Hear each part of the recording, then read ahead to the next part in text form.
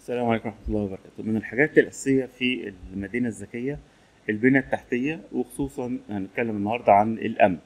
ونشوف مثال على كده اللي هو موقع اسمه انتلنس فاحنا هنستخدم المدن الذكية والوسائل الموجودة فيها عشان نقوي السلامة العامة والأمن ونساعد المواطنين على مكافحة الجريمة ونتعامل إزاي في حوالة حالة الطوارئ بصورة أسرع وأقوى وأكثر كفاءة.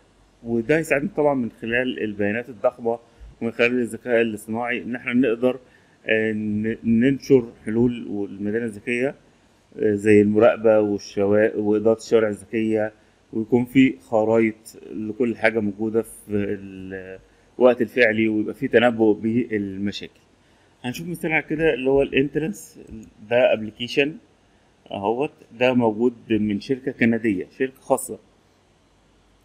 بتوفر حلول قائمة على الذكاء الاصطناعي وتحليل البيانات لإدارة حركة المرور وإدارة المطار والرعاية في حالات الطوارئ وهي بتستعين بالسنسور بتاع إنترنت الأشياء وكذلك الإنترنت بتاع ال 5G ولقطات الفيديو عشان تحدد أي انحرافات في السلوك زي سرقة المتاجر أو تعدي على الغير أو التهديدات الأمنية في الوقت الفعلي.